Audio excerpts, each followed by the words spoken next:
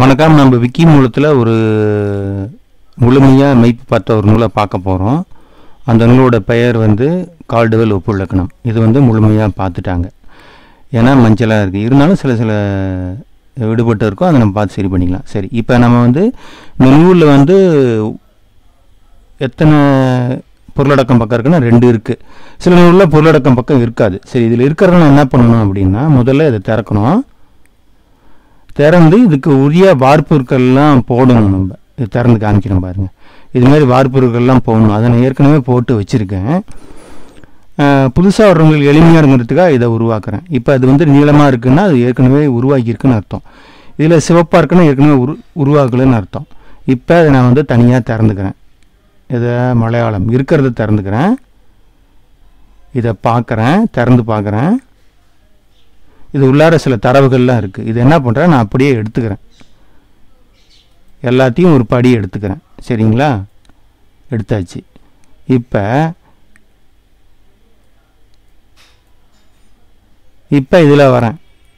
மலையாளம் எடுத்துக்கிட்டேன். தெலுங்கில் உருவாக்க போகிறேன் தெலுங்கை வந்து வேற ஒரு பக்கத்தில் திறந்துக்கிறேன் தத்தல்ல. டேபுங்கும் ஆங்கிலத்தில். இதில் திறந்தாச்சு. இதில் ஆறு. அது சரிதானன்னு நீங்கள் சரி பார்த்துக்கணும். இது பாருங்கள் அதுவே சொல்லுது. இது அஞ்சு. மலையாளம் இது ஆறு. சரிங்களா? இப்போ அது சரியாக செஞ்சாச்சு. இதுக்குள்ளே ஒட்டுறோம் நம்ம. ஒட்டிக்கிட்டு முன் தோற்றம் பார்க்குறோம் நம்ம. இங்கே மலையாளம் தான் வருது. ஏன்னா அது போன பக்கத்துலேருந்து எடுத்தோம். இல்லைங்களா? இந்த மலையாளத்துலேருந்து எடுத்து மலையாளம். இப்போ தெலுங்கு வந்து எத்தனை பக்கம் தொடங்குதுன்னு நீங்கள் போய் பாருங்கள் அதை அழுத்துங்க. தனியாக ஒரு பக்கத்தில் திறந்துக்கிறீங்க. திறந்து பார்த்தீங்கன்னா தெலுங்கு வந்து ஐம்பத்தாறில் தொடங்குது.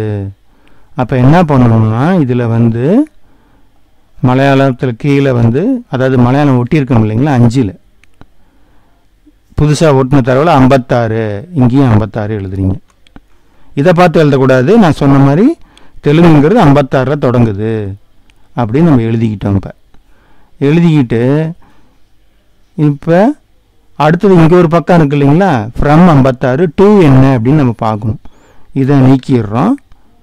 ஏன்னா தெலுங்குக்குரியது. போயிட்டு தெலுங்கு வந்து எங்கே முடியுது நம்ம பார்க்கணும். அப்போ எப்படின்னா தெலுங்கு எங்கே முடியும்? கன்னடம் திறந்த இடத்துல தெலுங்கு முடியும். இதை தனியாக திறந்து பார்க்குறீங்க நாற்பத்தொன்று நாற்பத்தொன்னா கன்னடம் இங்கே தொடங்குது. அப்போ அறுபதில் முடியுது. இங்கே தொடங்கினாலும் கூட இந்த இடத்துல தான் தெலுங்கு முடியுது உங்களுக்கு. இல்லைங்களா? பாருங்கள் தெலுங்கிற்கு தமிழர் தந்த பெயர் வடுகு என்பதாகும். சரி. இப்போ இங்கே அறுபதில் முடியுது அது. அப்போ என்ன பண்ணுறோம் இங்கேயும் அறுபது எழுதிடுறோம் நம்ம. அறுபது. எழுதிட்டு முன்தோற்றம் பாருங்க.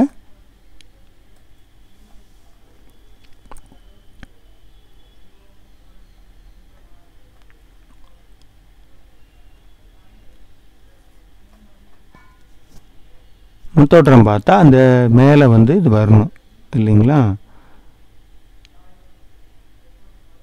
ஐம்பத்தாறு இந்த செக்ஷனுங்கிறத எடுத்துருங்க நீங்கள் எடுத்துடணும் அது சொல்ல மறந்துட்டேன் இப்போ முன் தோற்றம் பார்ப்போம். இப்போ இங்கே என்ன சொல்லுது அப்படின்னா நம்ம தெலுங்கு உருவாக்க போகிறோம் தெலுங்கு வந்துடுச்சு. ஆ? ஒரு சின்ன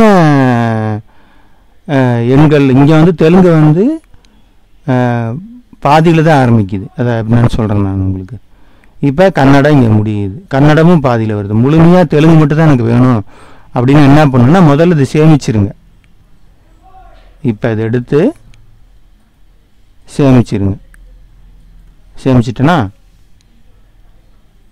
அடுத்து இது பெரிய பதிவாக வருங்கிறதுனால இன்னொரு சின்ன சின்ன பதிவாக நான் உருவாக்குறேன். மொத்தம் மூணு நாலு பதிவு வரும். ரெண்டாம் பதிவில் சந்திப்போம். வணக்கம்.